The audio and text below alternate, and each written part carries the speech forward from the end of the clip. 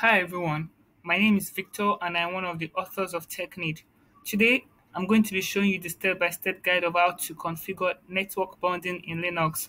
In our previous lesson, uh, we looked at what network bonding is and what network teaming is, and we also ascertained the fact that these two are different things entirely. So network bonding is actually different from network um, teaming, and we also looked at the step-by-step guide of how to configure network teaming in Linux. So in this video, um, we are going to be looking at the step-by-step guide of how to configure network bonding using the NMTUI utility. So what I'm going to be doing is to drop the link to this website and to this particular um, lesson in the description section below so that you can easily navigate through.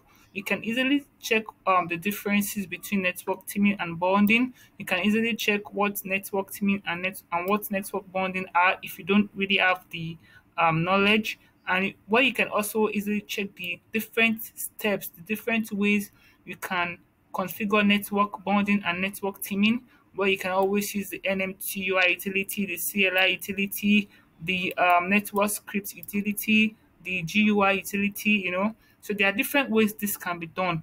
But um, for the purpose of this lesson, let's just go to the step-by-step -step guide of how to configure network bonding in Linux.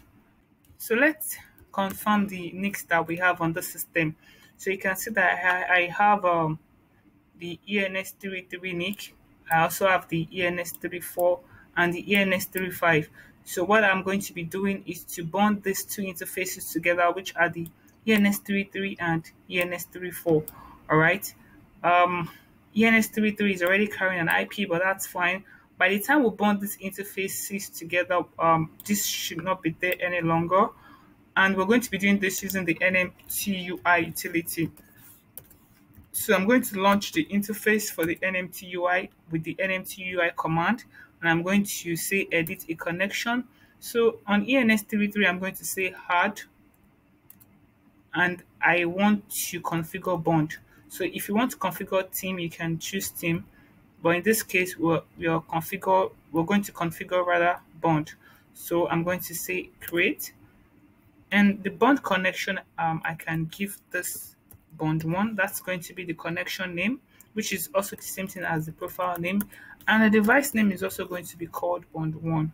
All right. So I can add the bond slave. So here I can say add so this is going to be Ethernet. And uh, for the profile name, I can add ENS33, ENS33. This is going to be okay. And also, um, we have, let me confirm that again. Uh, let's say new window. So I just want to confirm the NICs again. ENS33 and ENS34 is what we're going to be adding. So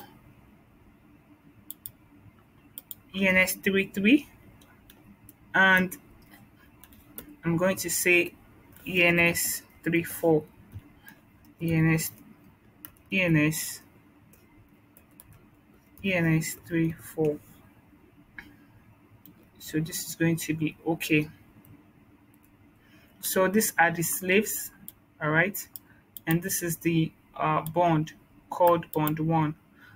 And you can see that this is um, round robin. So I can give it any mode I wish to um, give it. Like I told you that in bonding it is called uh, mode while in NIC teaming it is called um, runners so I can either choose round robin or, or active backup all right so whichever mode I wish to choose so let's choose active backup and I also need to configure an IP address on that um, bond interface. So it is on automatic. I need to change this to manual. And from manual, I can say show. And then I can configure the IP address. So here, yeah, this thing is just jumping. Well, let's just manage it like this. So I'm going to say 192.168 72.134 all right i also need to give it um the subnet. So this is going to be slash 24. And if I have a gateway, of course, I can also add the gateway.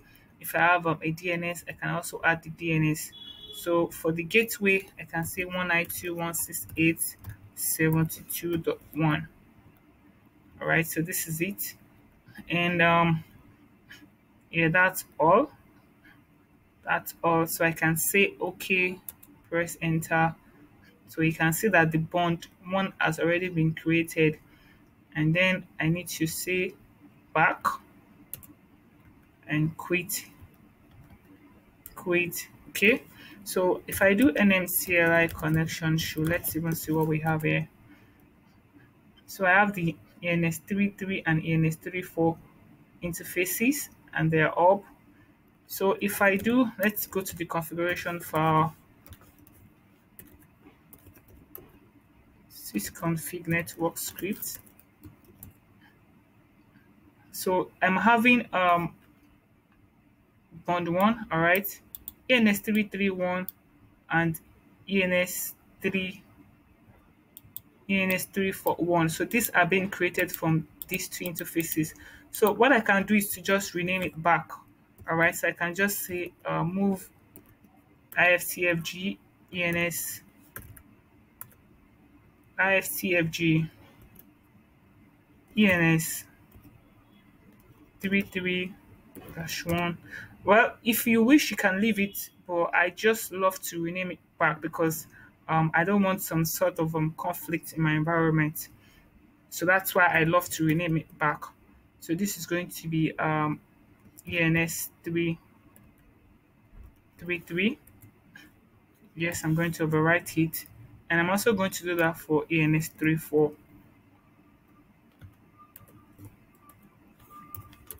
So if I do ls, so everything seems to be normal now. I have the bond 1 interface, ENS33 interface, and ENS34 interface. So I can restart the network manager, restart um, network manager. For Red Hat 7, you should also restart the network service. So now if I do NMCLI connection show, all right, so it's okay and if I do IPA, I should be able to see that this is fine. So for the ENS33, it's still carrying this IP. And um, for bond 1, it's carrying our IP. So what we need to do is to restart the interfaces.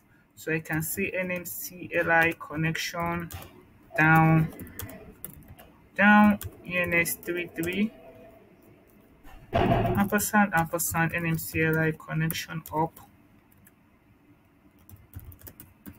ENS33 so I'm going to do that for ENS34 as well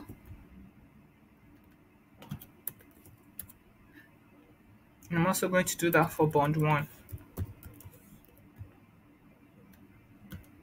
so these are all the interfaces that are related to bond one. So I just want to make sure that all the interfaces are being restarted.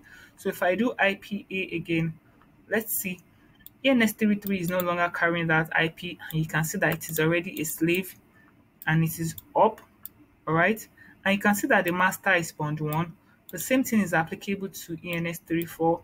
It is a slave to uh, bond one and it is up all right it is up so if you look at our bond one as well you should see that bond one is carrying that ip address that we want it to carry which is dot 134 all right so this is how you can always configure bonding in linux and of course if you do um cat proc net bonding bond one you can see the uh bond you can see the bond interface and the bond state.